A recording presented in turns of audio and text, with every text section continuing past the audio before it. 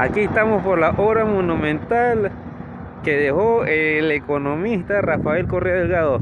Maestro Tomala, ¿cómo está? Buenos días. Muy buenos días. Aquí en el Gran Monteverde, recordando esa obra monumental del expresidente Rafael Correa Delgado. Por eso es necesario volver a votar por Luisa, nuestra presidenta.